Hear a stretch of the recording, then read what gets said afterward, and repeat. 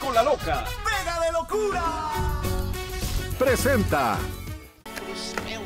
En serio, ahorita, se me ocurrió, ¿no? Hemos votado por nuestros diputados, nuestros senadores.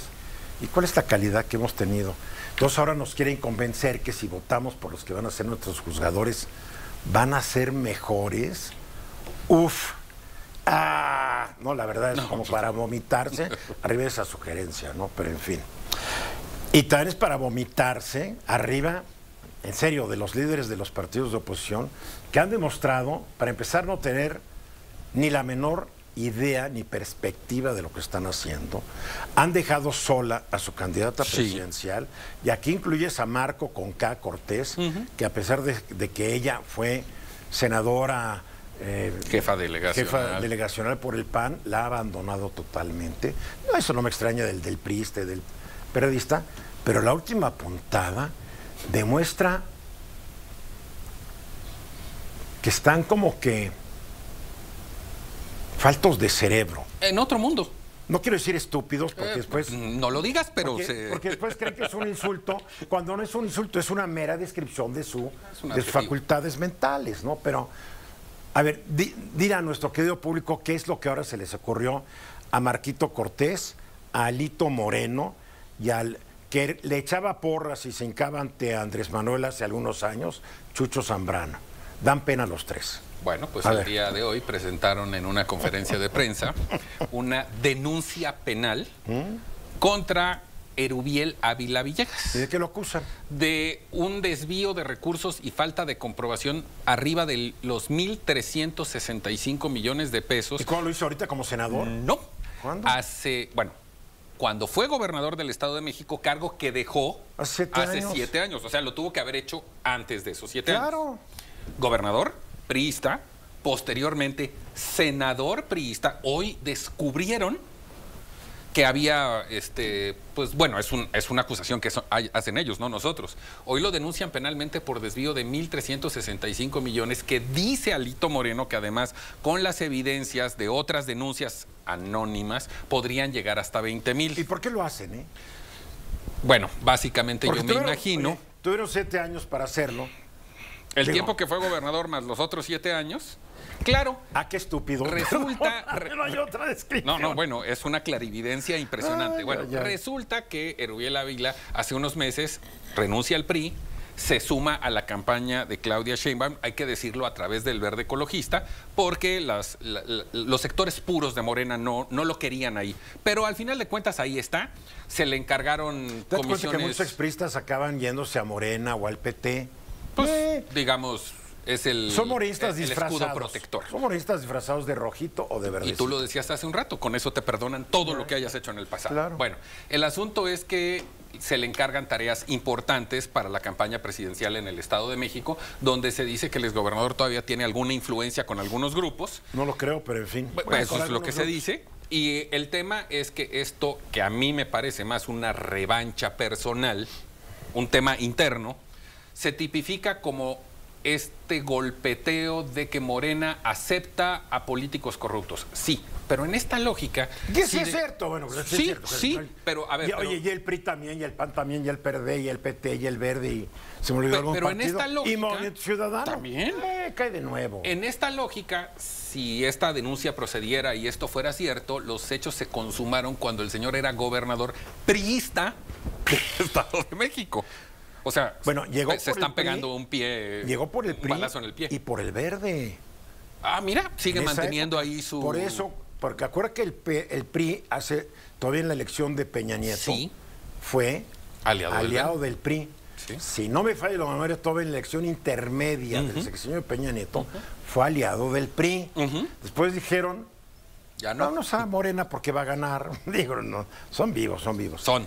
Entonces Rubiel Ávila se va al verde porque el partido que lo llevó al Senado fue el verde.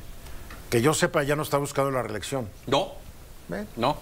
No, y en todo caso se le orga- bueno, se le encomendaron tareas para la elección presidencial Está en el Estado de está México. bien, está bien. En el entendido que fue gobernador y conoce y debe de tener ahí alguna influencia. Bueno, se se comenta y se rumora de que Rubiel, que viene de, una, de un estrato socioeconómico bajo, él mismo presumía como su papá era vidriero y chofer de camión Sí. de pasajeros.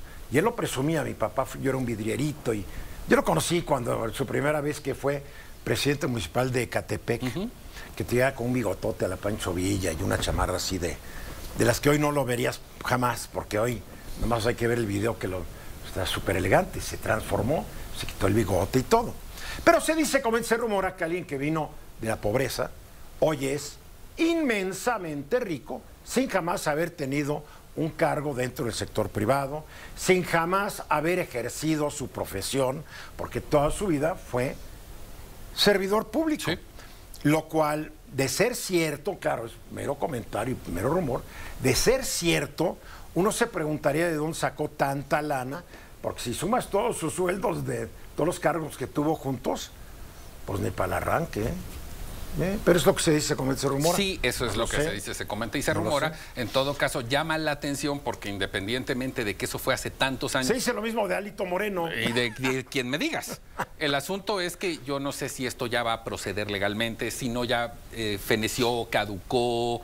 eh, además, hoy, hoy el PRI, el PAN y el PRD no tienen las herramientas ni los instrumentos en el Estado de México para hacer que una demanda, una denuncia proceda, se lleve a cuentas. En todo caso, esto es un acto mediático. Básicamente es parte de esta guerra intestina entre partidos y con rivales para llevarlo a un punto en el tema de la corrupción que, si lo comparamos con lo que comentabas del exministro Saldívar, pues creo que esto es anecdótico, pero es la nota del día Ahora- porque se juntaron los tres presidentes de los partidos como si no tuvieran otra cosa que hacer No tienen otra cosa que hacer. para denunciar a un exgobernador A que ver, dejó el cargo hace siete años. 1.365 millones de pesos. Por eso son las denuncias, ya, ya Esto es como la décima parte de lo que supuestamente se robaron de Segalmex, cuando el director general de Segalmex era Ignacio Ovalle. Valle, que fue uno de los primeros jefes que en Sí. su carrera política tuvo el presidente López Obrador, sí, sí. y para protegerlo lo sacó de Segalmex y lo mandó a un carguito insignificante en la Secretaría de Gobernación, protegido por todos. Pero esto no es nada junto a lo de Segalmex. Nada, claro, que dicen, porque Digo, eso ya me gustaría a mí comentaron. tener tres de los ceros, ¿no? En la, en la conferencia de prensa comentaron que derivado del conocimiento público de otras denuncias, pero que todavía no tienen los datos, la cifra podría llegar a 20 mil millones. Ah. O sea, me encanta, no tienen los datos. no, de lo que tienen son, lo que A ver. están denunciando son de los 1.365. Esto lo denuncian, me imagino, por una auditoría. Sí, y porque además no se comprobaron los recursos, Sí. el ejercicio de los recursos. A Esto- ver, no se es de- comprobaron desde hace siete años, hasta ahorita lo descubrieron. Bueno, esto, esto depende de la Auditoría Superior de la Federación, me imagino. porque son recursos. Ok. Entonces, si la auditoría no ha procedido, para, porque hoy la auditoría ya, a nuestro amigo David Colmenares. David Colmenares como que ya lo convencieron, ¿no? Sí, También. sí, Y sí, es muy triste porque David Colmenares lo veías como un hombre independiente. ¿Lo fue? Lo fue y como que David Colmenares ya, Te puedo decir. ya parece David Colmorenas. Te puedo decir, y es un comentario obviamente a criterio personal, que después de haber vivido toda la vida en su misma casa, de haber sido un funcionario... Ahí en que- Oaxaca. Sí, Cada fin de semana se iba a Oaxaca. que al que nunca se le acusó De nada. de nada, hoy este, ya son demasiados los comentarios. ¿Ya se cambió de casa? Este, no, pero ya viste que mandó a remodelar un departamento ahí en la Auditoría Superior para dejarlo de superlujo. Tiene un problema de movilidad y entonces ya no se va a su casa, vive en la Auditoría Superior. Se mandó a hacer con recursos públicos un departamento espectacular. O sea, Y- no, no como el que, porque hay que decirlo, no como el departamentito modesto que el presidente tiene o Palacio Nacional. Algo de, de lujo. Y- sí se ha oído últimamente que ha tenido reuniones con varios actores políticos para temas muy sensibles de auditorías, Bien. que no es lo normal. Bien, entonces el PRI, el PAN y el PRD están obligados a aportar las pruebas. De esos 1.365 dicen que ya, pero que hay 20 mil más, que hay otras denuncias. Vamos a ver, pero sí, se esperaron demasiado, caray. Este, híjole, ¿siete años? A ver si no ya, este, Es que ya estaban- caducó. Estaban buscando pruebas, por eso. Hijo, son, son como que payasos estos tres. ¿eh? Híjole. Es el, es el trío de que un trío, un trío famoso, ridículo. Los, herma- los, los- los hermanos este, Marx, los Groucho Marx. Pero eran cuatro. Eran cuatro. No, sí. necesitamos un trío ahí, lo dejamos, un trío Pensamos de personajes ridículamente cómicos para así bautizar a Marquito, a Chuchito y a Lito, ¿no? Pensamos en uno. Hay que pensar en uno. Trío cómico famoso. Porque Porque además si fueran chistes de buen gusto, caray. Pero en fin, ay, ay, ay, ay, ay. Mensajes y regresamos. Con la loca. ¡Pega de locura! Presentó